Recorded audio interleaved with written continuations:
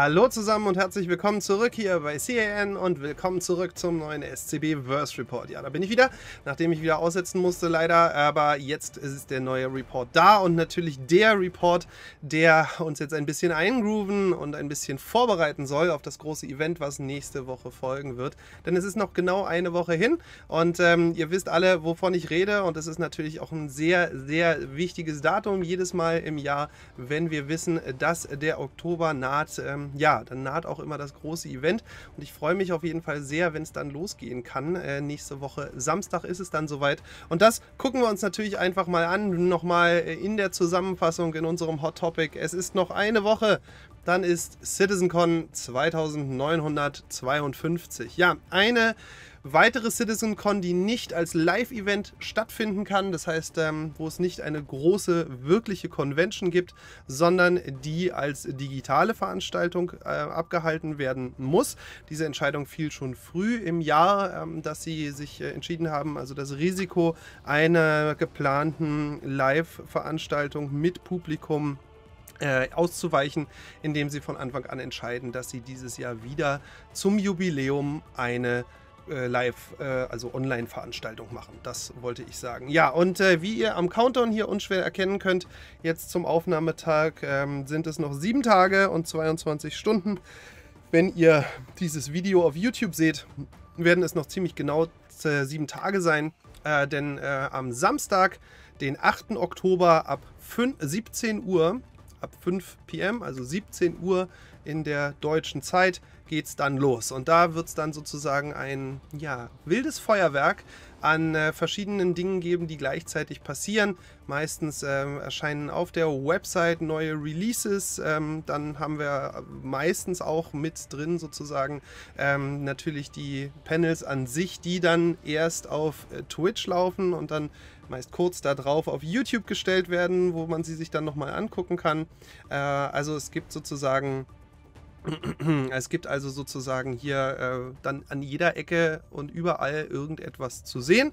Äh, und das ist ja auch natürlich der Sinn der Sache. Also es geht natürlich auch darum, ähm, dass man eben hier überall Neuigkeiten rausfindet. Und ähm, ja, das Ganze ganz witzig gemacht. Äh, meistens äh, widerspricht sich auch an der einen oder anderen Stelle mal. Ähm, da wird dann im Video über ein neues Schiff oder ein neues Fahrzeug etwas erzählt, was dann auf der Website ganz anders aussieht. Aber das kennen wir so. Und äh, wie gesagt, ähm, es werden auf jeden Fall viele, viele neue Inline äh, Hinweise zu äh, den, sagen wir mal, aktuellen Entwicklungsschritten vorkommen. Und wir werden sehr viele Sachen sehen, ähm, wo wir uns bis vor, vorher noch, sagen wir mal, eher vorenthalten wurden. Ja, und das Ganze dann, wie gesagt, äh, ab 17 Uhr in der deutschen Zeit hier auf live auf Twitch, wobei wir von CAN jetzt äh, dann am Samstag ab 16 Uhr da sein werden. Ähm, und das wird auf jeden Fall eine sehr, sehr schöne Geschichte, weil ich mich schon auf die Pre-Show freue. Da ist immer so ein schöner so eine schöne Stimmung, wenn man dann nacheinander guckt, was denn eigentlich passiert äh, und vor allem, was die einzelnen Leute so erwarten von dem Event.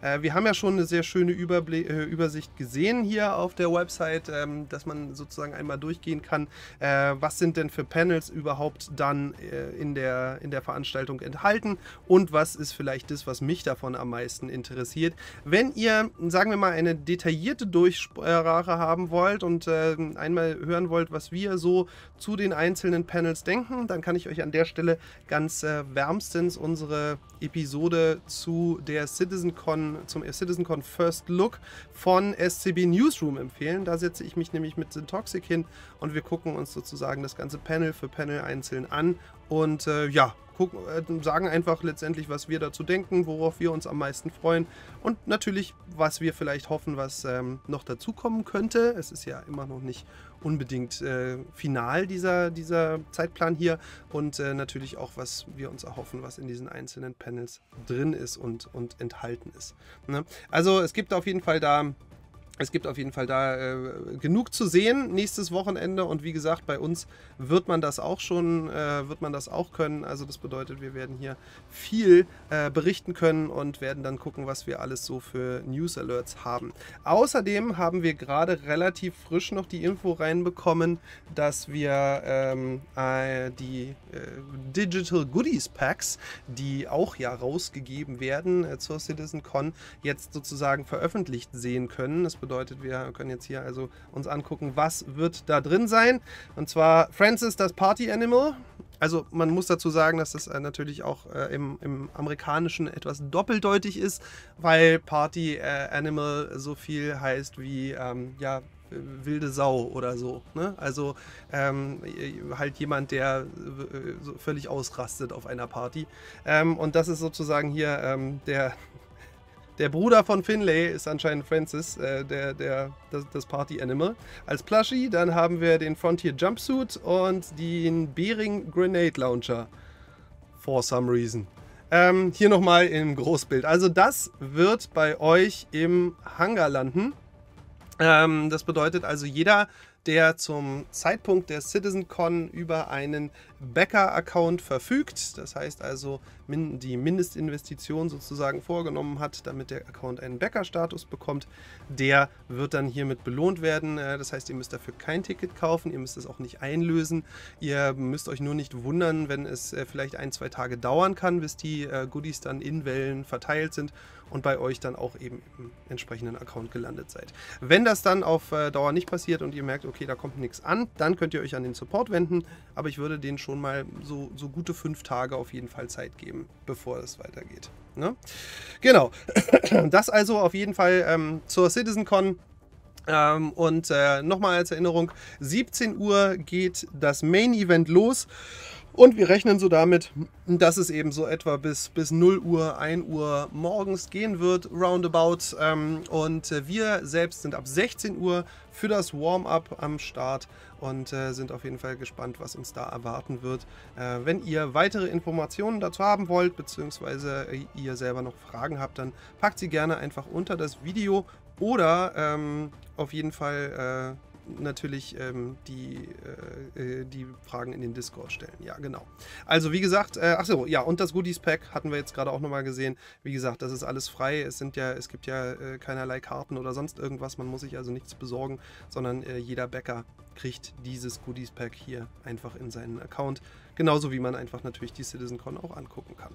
Ja, so viel dazu und äh, wir gehen weiter und rüber zu unserem Broadcast Report und zwar mit Inside Star Citizen. Und ähm, da gab es jetzt ein neues Format innerhalb von Inside Star Citizen. Sie haben gesagt, sie wollen diesmal ähm, äh, etwas Neues ausprobieren und zwar die letzte Folge einer Staffel. Wir haben ja jetzt aktuell sozusagen die Sommerstaffel, die jetzt endet äh, und jetzt sind vier Wochen Pause über die CitizenCon eben hinweg, wo es auch so genug Inhalte und Videos geben wird. Da braucht man sich jetzt gerade keine Sorgen zu machen. Aber äh, Inside Star Citizen als Show hat jetzt eine äh, vier Wochen Pause und kommt dementsprechend Ende Oktober wieder. Ja, und ähm, da haben sie sich überlegt, sie machen ein ähm, Abschlussformat für die Staffel, was vermutlich oder je nach Feedback eben jetzt auch äh, jede Staffel kommen wird. Und das ist das Follow-up, wo sie eigentlich nochmal einen Blick auf die Weiterentwicklung von Dingen geworfen haben, die sie innerhalb dieser Staffel im Development, also in der sozusagen Entwicklungserzählung vom Spiel dann äh, dargestellt haben. Das bedeutet also, sie gucken sich einfach die Topics an, die sie schon mal hatten in Inside Star Citizen und gehen da nochmal konkret ran und fragen, wie ist denn der aktuelle Stand, jetzt wo wir quasi ein Vierteljahr später haben? Ähm, oder ähm, ja, wie ist sozusagen hier äh, das momentane, das, das äh, momentane Gefühl bzw. die momentane Entwicklungsgeschwindigkeit? Ja, und eins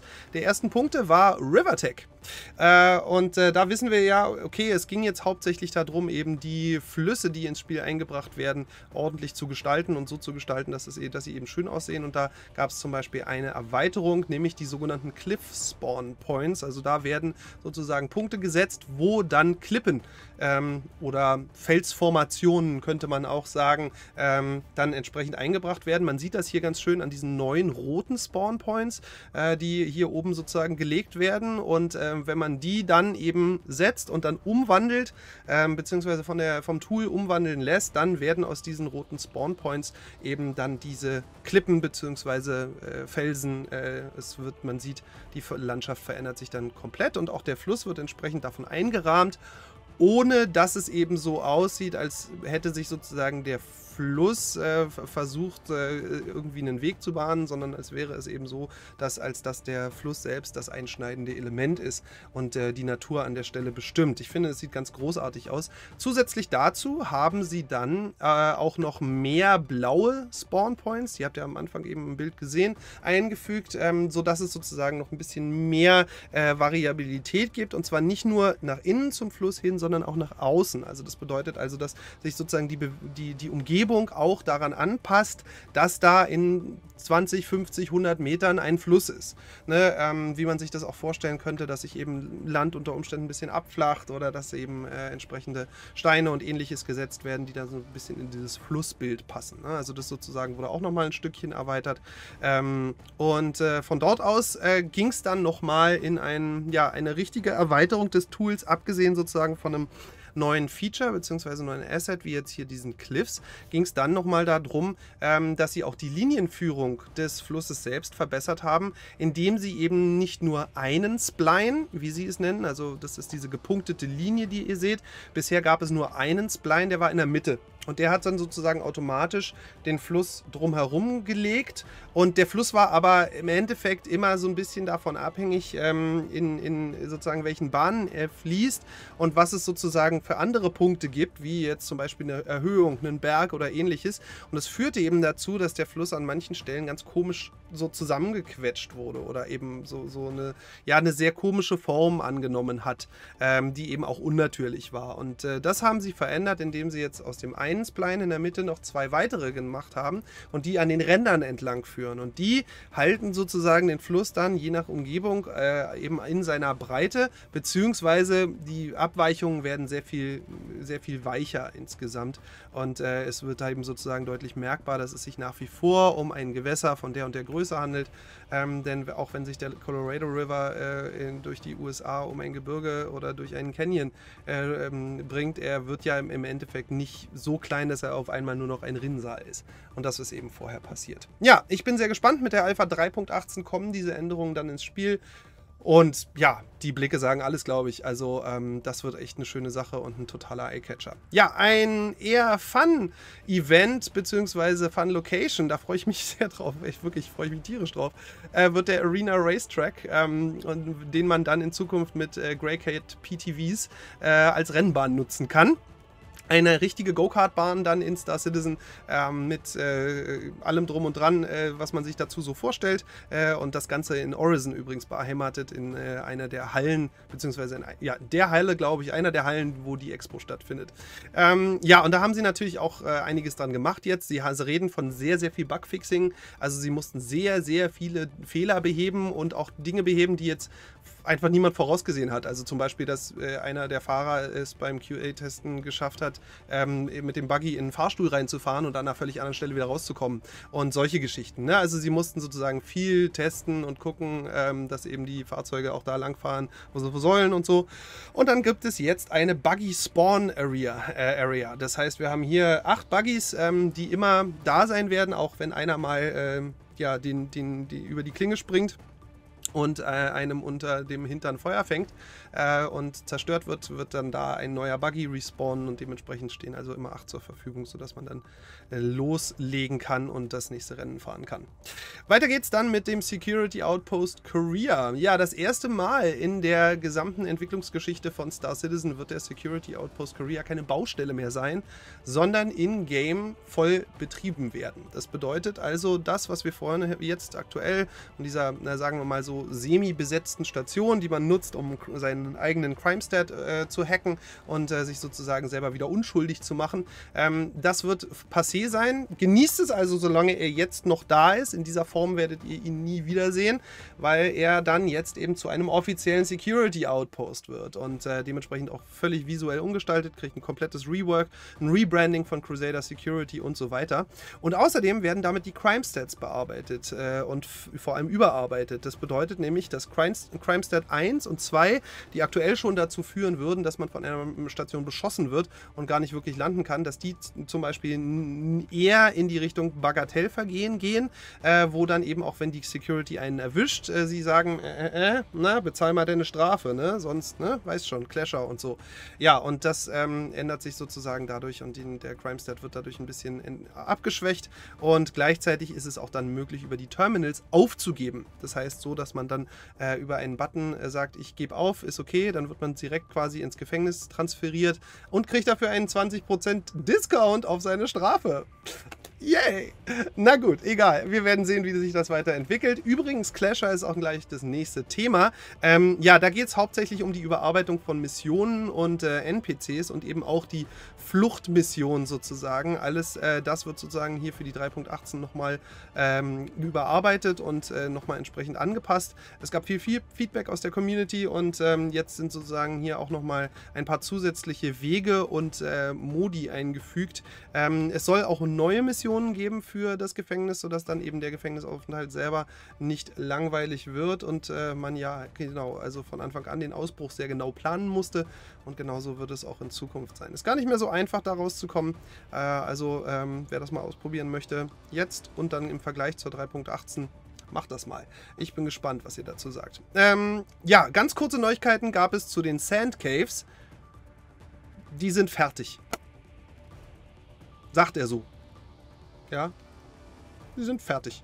Okay, gut, dann weiter zur Daymar Crash Site. Äh, die Daymar Crash Site wird auch fertiggestellt, beziehungsweise da geht es auch ganz viel ums Bugfixing momentan. Also im Großen und Ganzen ist das Ding bereit. Das wird ja ein neuer Outlaw-Außenposten, äh, inklusive zwei neuer Wracks, die da eben mit abgestürzt sind.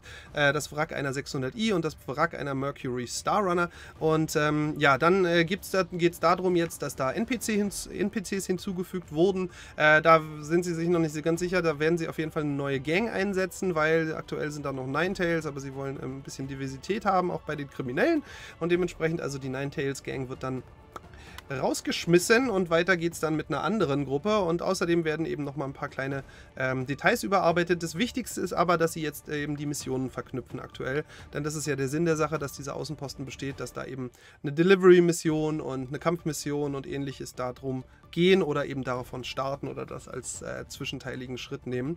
Und äh, dann sagt er noch die Sandnomaden-NPCs, also ne, die so ein bisschen Tusken Raider-mäßig aussieht, sehen. Ähm, Habe ich nicht gesagt natürlich, dass sie so aussehen, aber ihr wisst, was ich meine. Die kommen vermutlich erst im nächsten Release. Also das wird jetzt noch nichts pass nicht passieren. Also gucken wir mal, ähm, wie es da weitergeht. Genau, dann äh, Siege Islands, äh, auch ein Thema, nämlich was passiert mit den ähm, Wolkenstadtinseln äh, äh, in Orison, ähm, wenn da gerade kein Event ist. Also wenn der Siege of Origin gerade nicht stattfindet und die Ninetales irgendwo auf Grimhex chillen, was passiert denn dann mit den äh, schönen Locations, die dafür gebaut wurden? Ja, dafür gibt es dann jetzt in Zukunft auch Missionen, diese sogenannten Siege Islands. Das heißt, da werden also Missionen gemacht, die dann laufen, wenn das Event gerade nicht getriggert ist. Ähm, und das werden vor allem ähm, ja, äh, Eroberungsmissionen sein, wo man eine ganze Gruppe von Gegnern tötet, aber auch äh, Assis äh, Assassinierungen, äh, wo es dann eben geht um ein wichtiges Ziel oder eben auch ähm, tatsächlich ganz einfache ähm, Capture- und Kill-Missionen. Da gucken wir mal, was da passieren wird. Äh, auf jeden Fall wird es da dann auf jeden Fall Gameplay für geben, wenn auch der Siege of Orison gerade nicht äh, live ist. Ja, und dann Hull Scraping. Da wurden also jetzt ein paar Fragen beantwortet, die von der Community nach den letzten Beiträgen hier bei Inside Star Citizen gestellt wurden. Und ähm, da ging es zum Beispiel darum, Reclaimer versus Vulture. Was ist denn jetzt der Vorteil zwischen den beiden Schiffen? Und er sagt ganz klar, ja, bei der Salvaging Tech Zero, also der ersten Stufe der ersten Iteration, gibt es keinen wirklichen Vorteil, außer dass die riesige Reclaimer sehr viel mehr Platz hat, um Kram zu stauen. Aber ansonsten gibt es da noch keinen Unterschied zwischen beiden Schiffen. Beide haben sozusagen die gleichen Laser und die gleichen Möglichkeiten. Aber ab Tier 1 von Salvaging wird das dann auf jeden Fall anders werden, denn dann kann die Reclaimer selber sozusagen das Material raffinieren, könnte man sagen. Also Munching nennt er das sozusagen zerhäckseln und sortieren und sozusagen in einzelne Bereiche bringen äh, und dann entsprechend auch äh, somit aufwerten, also einen Mehrwert gestalten sozusagen durch die äh, Aufteilung und Sortierung. Das kann der die Waldstein natürlich nicht. Ne? Ähm, von daher äh, muss man da dann auf abwarten. Dann, ja, wichtige Frage, die natürlich immer von allen gestellt werden muss. Kann ich den Scraper Beam vom Salvaging auch als Waffe benutzen? Ja, kannst du. Aber das andere Schiff darf keine Schilde mehr haben. Also praktisch, nein, kannst du nicht. Weil wenn du im Kampf bist, wird der andere Schilde haben. Und dass wir sie inzwischen lange genug ausschalten können oder gezielt Schildgeneratoren treffen, ist eher selten bzw. nicht möglich. Und dass man da lange genug sozusagen mit der Vulture dann ranfliegt und dann da versucht irgendwie Hülle aufzufressen währenddessen. Nee. Also, wie gesagt, es ist theoretisch möglich, wenn das Schiff keine Schilde hat, dass man damit Schaden macht, aber ähm, ist rein praktikabel eigentlich nicht umsetzbar. Ja, Repair Tech, ähm, und zwar Tier Zero kommt ja da auch auf uns zu, hat ja mit dem Salvaging auch zu tun.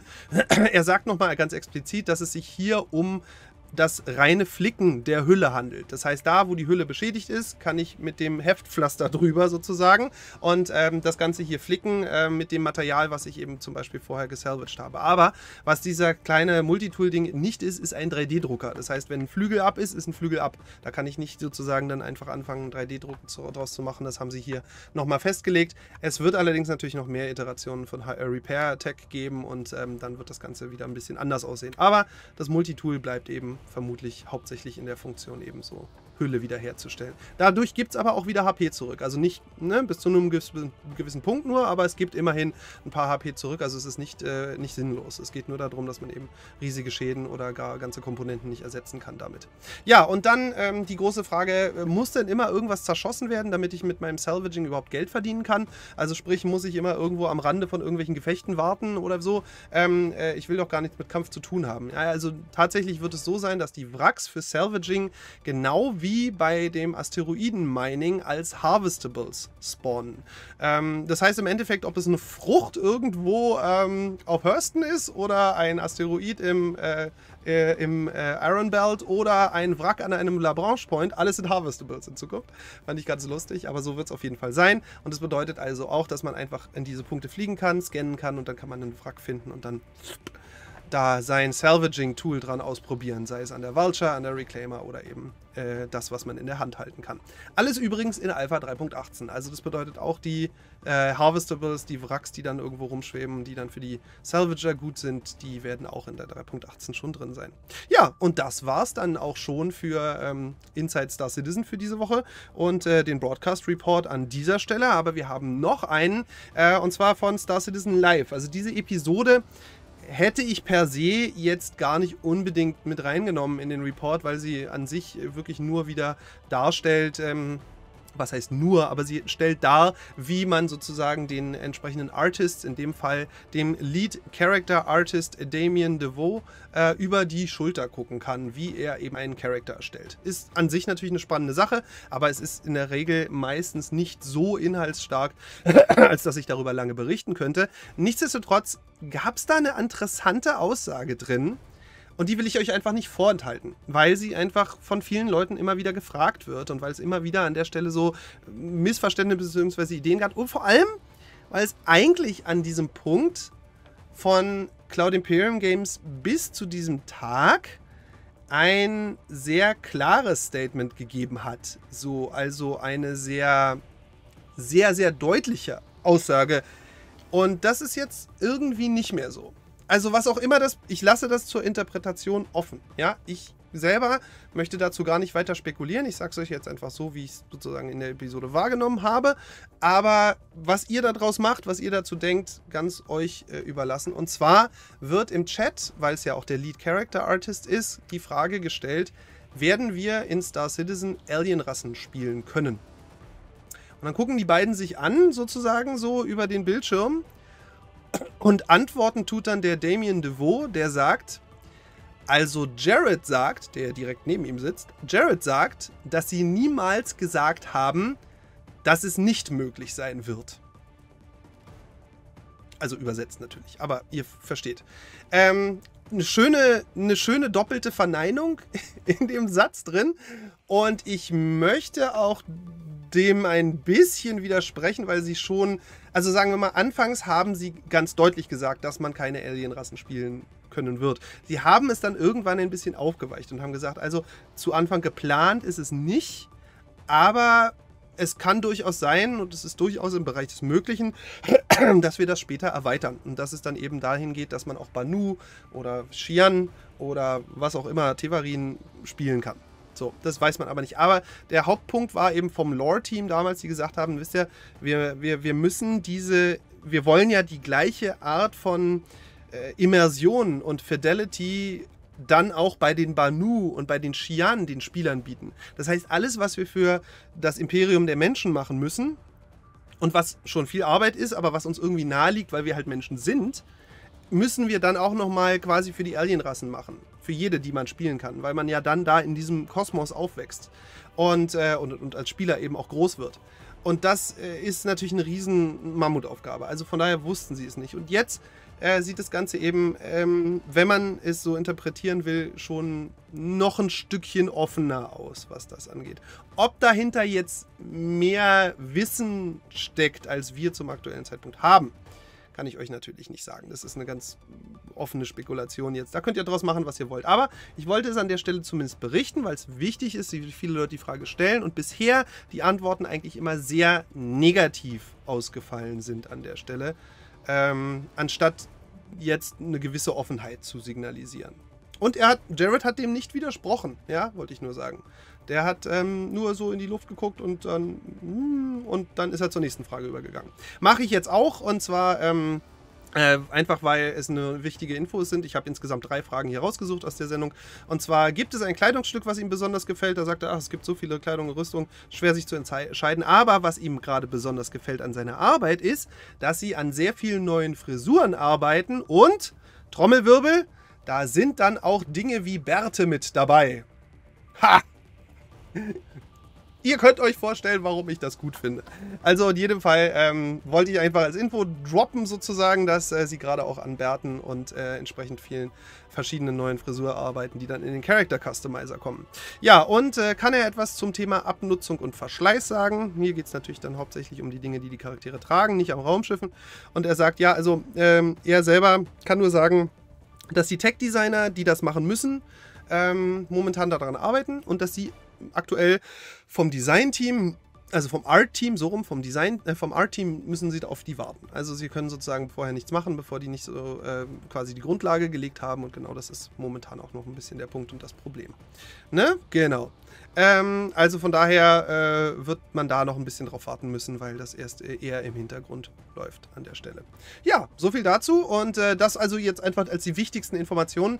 Ähm, ihr findet aber beide Episoden, Inside Star Citizen und auch Star Citizen Live, mit allen Fragen, die da drin waren und auch nochmal sehr vielen schönen Screenshots, äh, was er dann sozusagen hier ähm, äh, noch als Arbeit gezeigt hat, ähm, dann bei Star Citizen Base. Da ist das Ganze komplett auf Deutsch übersetzt und ihr könnt euch das Ganze dann einfach durchlesen und äh, noch, noch eure weiteren Infos dazu holen. Ja, und ich gehe von hier aus dann jetzt weiter in die nächste Kategorie, die Ship News.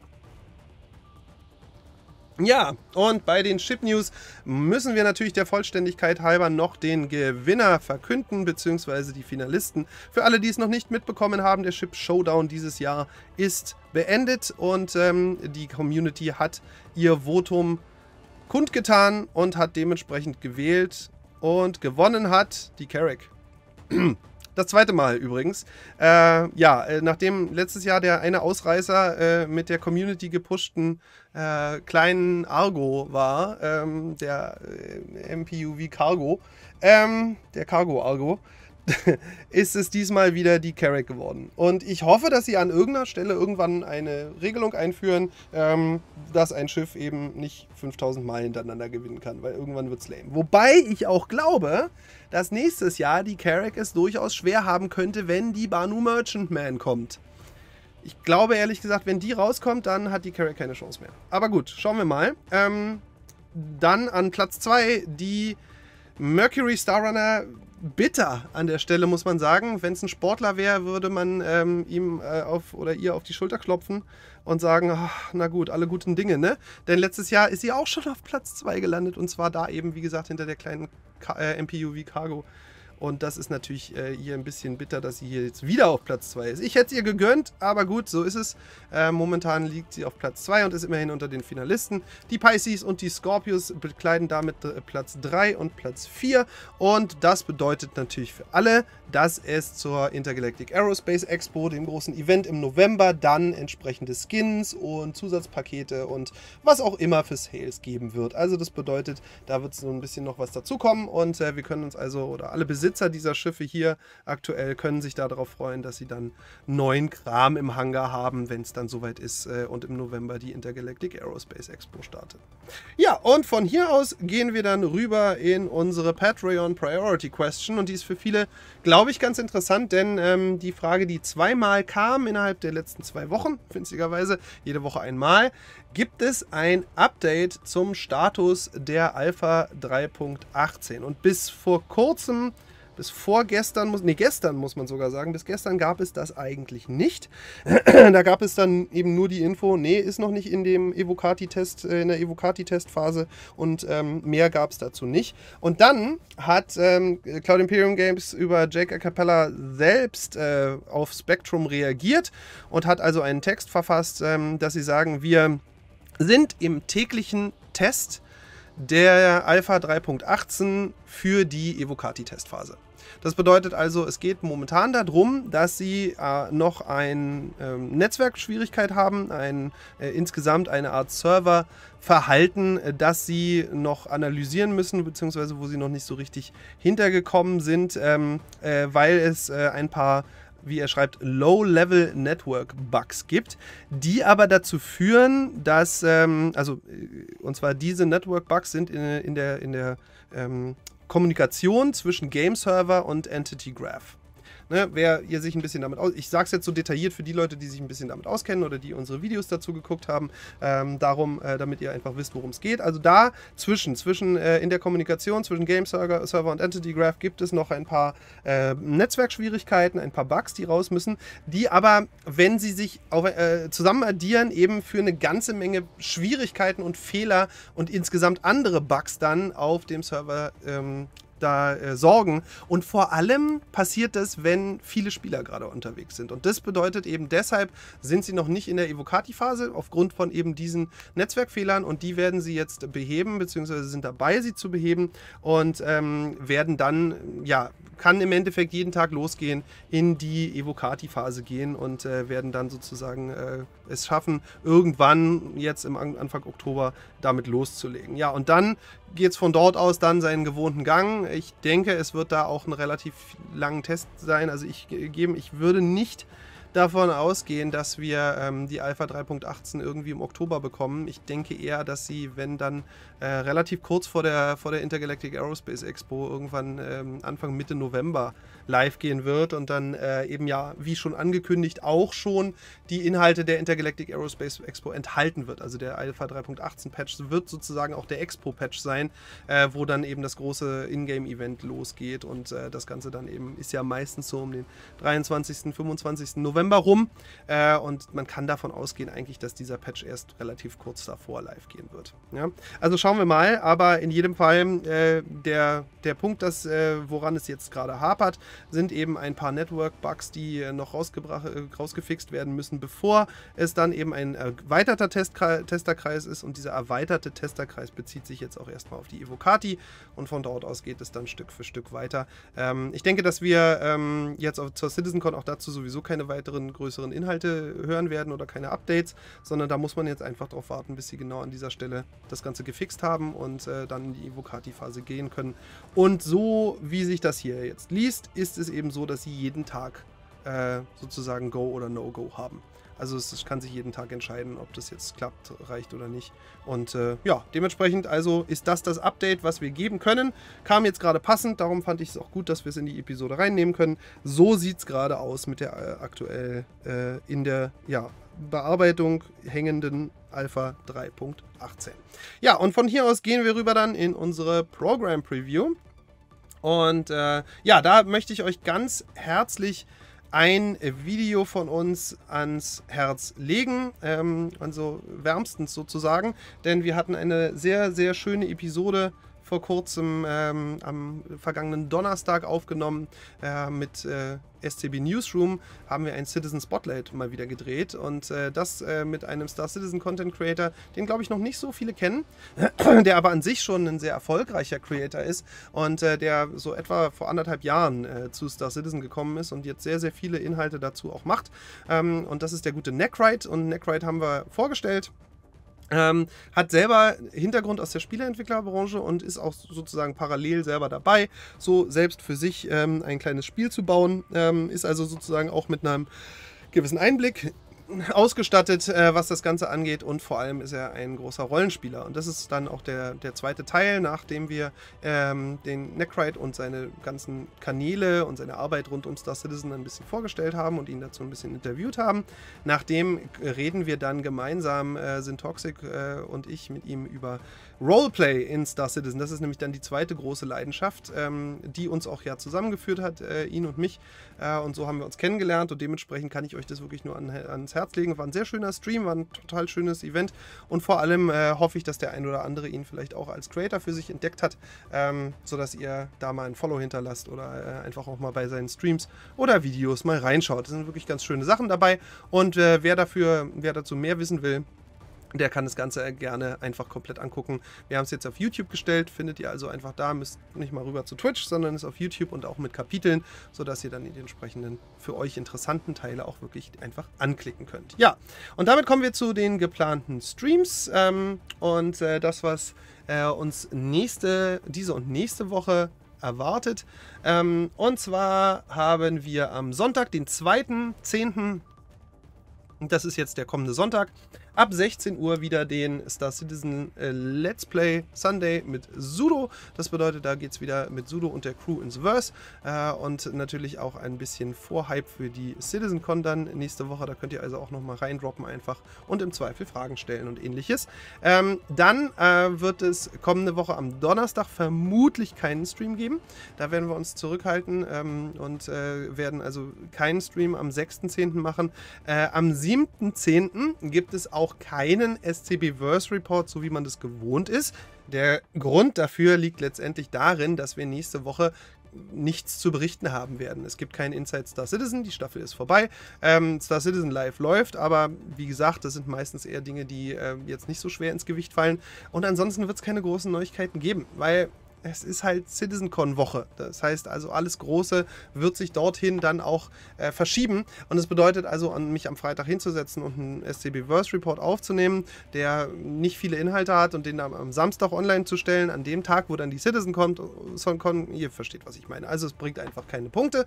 Dementsprechend werden wir am Freitag, den 7.10. aber trotzdem streamen ähm, und das Ganze dann aber ab 19 Uhr also das heißt ein bisschen äh, später als sonst. Und dann gibt es da einen sogenannten Anything Can Happen Friday. Also gucken wir mal, vielleicht ein bisschen Star Citizen zu Anfang, vielleicht gehen wir dann woanders hin, vielleicht spielen wir auch was völlig anderes. Wir werden gucken einfach, wir wollen einfach Party machen. Also Freitag, ne, merken, nächsten Freitag ist wieder bei CAN Party und zwar Warm-Up Party für die CitizenCon ähm, mit äh, was auch immer wir Lust haben zu spielen. Also das wird nächsten Freitag sein und dementsprechend gibt es auch nächsten Samstag natürlich keinen SCB Verse Report auf YouTube. Das heißt, ähm, da werden am Wochenende genug Videos passieren und da werden auch News Alerts kommen und was auch immer.